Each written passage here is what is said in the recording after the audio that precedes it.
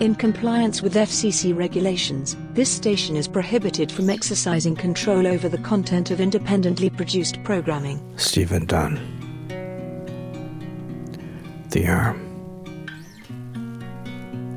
A doll's pink, broken off arm was floating in a pond a man had come to with his dog.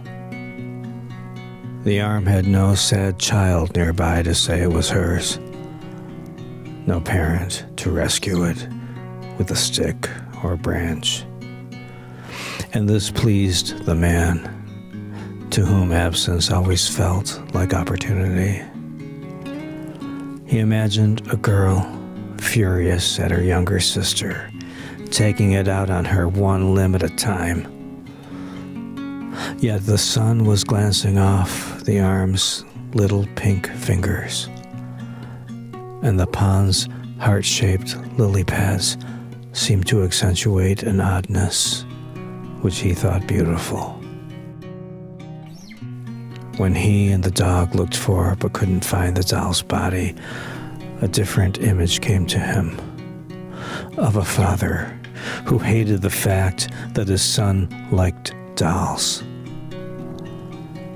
What was floating there was a punishment that didn't work, for the boy had come to love his one armed doll even more. Once again, the man was struck by how much misery the human spirit can absorb. His dog wanted to move on. Enough of this already. But the man was creating little waves with his hands, and the arm, this thing his wife was sure to question, was slowly bobbing toward him.